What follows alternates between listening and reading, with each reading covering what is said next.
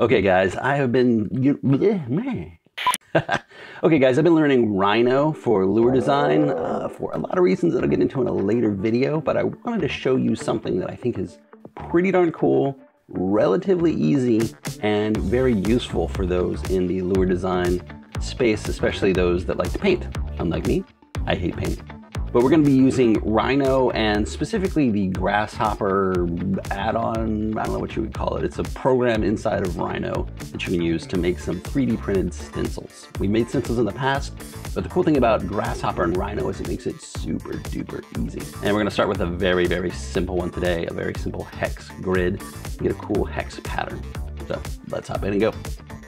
So we click this little icon here. We just open this Rhino 7 commercial version. You can get, a, I think it's like a 90 day trial or something. It's like a really long trial. Link in the description to get you one. So we click the little green button up here, Grasshopper, and it's gonna load Grasshopper for us. And this is nowhere near like a full tutorial for Grasshopper and Rhino because I don't know enough about either to make a full tutorial. All right, I'm gonna just line these things up here. All right, so I have Rhino open in perspective view. So the first thing I wanna do is double click and we're gonna type in hex and there's this hexagonal grid here. Our plane is fine. We don't really need to worry about that. It's gonna be right there. Our extent, let's do 100. And I'm just double clipping, uh, double clipping, double clicking and typing in a number and that gets a number slider in Grasshopper. And we're gonna grab that and pull that into the extent X and extent Y. That'll give us a 100 by 100 millimeter grid. And size of the hexes, let's just say 1.8, again, millimeters. I'm just typing that in and I'm clicking that to the side. Okay, this is actually 100 by 100 units of the hexes. Yeah, the number of grid cells. So um, this will be 180 by 180 right now. Kind of big, but um, maybe we'll bump that down to 80. Make it a little bit smaller so not so crazy big. Generally, you don't need a giant stencil, but you know, you can make it as big as you want, uh, probably as big as your printer can handle.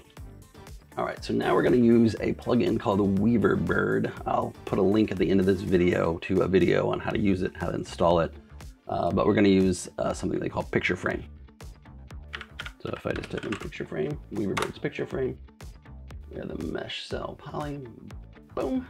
Distance is going to be, you can see here, this like line around here, that's this distance. So um, first thing we're gonna fix is this dotted line here. That usually means that it's something's working, but it doesn't like it, and generally flatten will fix that. So we got a nice good connection, a nice solid line connecting those two things. And then we're gonna middle click and hide this. That's gonna hide our original uh, mesh grid. Uh, as you're in Grasshopper, as you add more steps, if they're all visible, it can become very difficult figuring out what the heck is going on.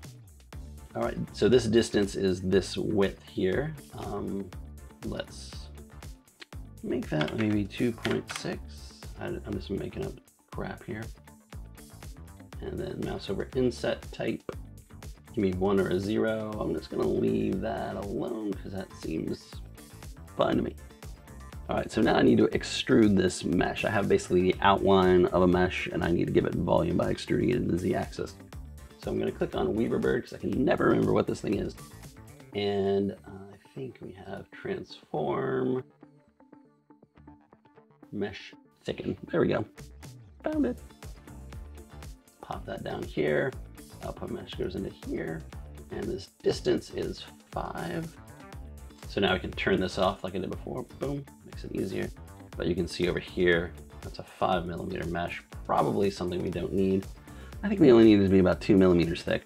So we're gonna click two enter and connect that into there, boom.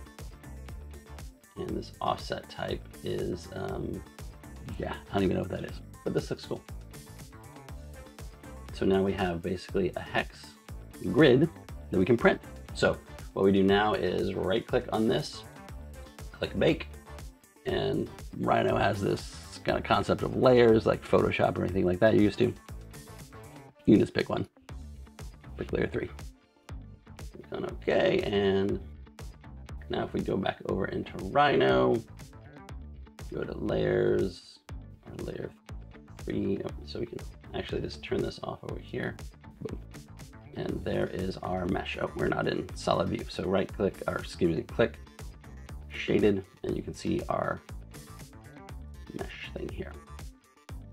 So now all we do is do file, save as, and we want it to be a, usually STL file is what you want here. Depending on what your slicer uses, you can use step files, 3MF files, whatever. We're just gonna use good old STL. And we're gonna call this hex grid. Now you load that into your printer and slice it. Let's see if we can do something maybe a little cooler I don't know what gets cooler than that, but let's see. So I'm gonna turn off layer three now and zoom out. And what we're gonna do is disconnect this picture frame and we're gonna put some other transform in the middle. All right guys, by the way, now I'm flying like without a parachute or whatever, flying without radar. I don't, I don't know what I'm doing because I've never done this particular step before. But Weaverbird also has these other cool transforms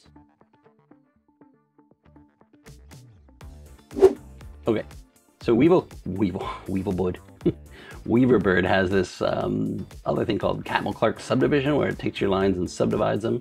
I'm sure there's some super cool math behind it. I have no idea what it is, but let's throw it in there and see what happens. Click here, boom, and now it has mesh curve. So we're gonna take our mesh output, boom, into that.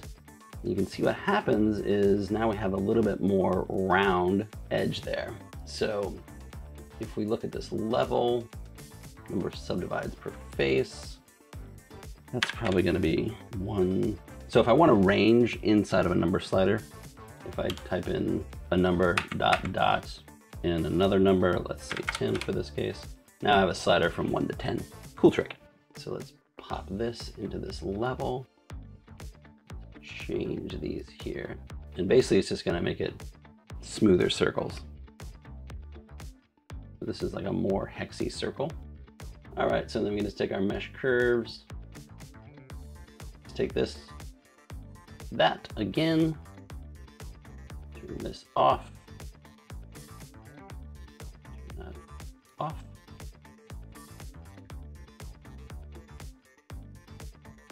Or maybe I forgot to turn on visibility again. Dirt. All right, so now we have a little more rounded stencil. Again, same thing. Bake it. We'll put this one on layer four, just cause. Click on OK. Turn off layer four for now by just clicking that little guy. So you can go through, there's all kinds of plugins in Rhino to make all kinds of cool patterns on flat planes to make all kinds of cool stencils. Let's take a look at another one that I did previously. This is using a Voronoi pattern. Now I've done these before in Fusion. There's a plugin you can buy, but it's like just here in Rhino slash grasshopper. And so, um, you know, you can do these inside of Rhino itself. Um, I actually don't really know how, but the cool thing about doing it in Grasshopper is it's fully parametric, which means that I can come in and change any of these sliders here. So this is the extrusion height. If I want to make it taller, I just move that over and then my extrusion gets taller. If I want my radius on these guys to be smaller, I can double click and say Let's make it a five millimeter radius. And that's gonna change that. Now all these things are gonna calculate kind of, and sometimes it's slower, but you can see now we have much more circular patterns there, which I don't like. So let's see if 6.4 gets me back to Voronoi. Yeah, cool. But again, you can play around with this and go crazy all day long. You can also change this guy. This is how we created the Voronoi pattern. And that's just another example of what you can do. Let's take a look and see what these stencils look like after we 3D print them.